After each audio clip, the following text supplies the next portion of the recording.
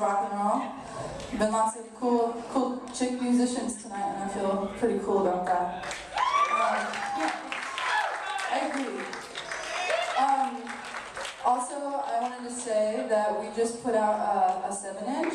Um, and we're really excited about it and we have it for sale out there it's only five dollars and we're actually stamping them right now because um, because we're uh, lazy and didn't do it before but it's more personal that way. So um, you can come get one maybe if you want.